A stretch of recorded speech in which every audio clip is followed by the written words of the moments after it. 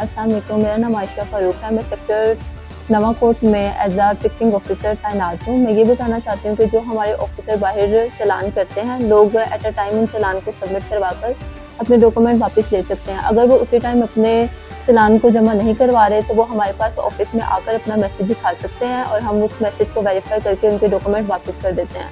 अगर समटाइम ऐसा होता है कि वो दस दिन के अंदर अंदर अगर पैसे नहीं जमा करवा रहे हैं या उन्होंने अपने चलान सबमिट नहीं करवाया तो उनका जो चलान होगा वो कचहरी में चला जाएगा और वहाँ वो डबल अमाउंट के साथ रिसीव कर सकते हैं।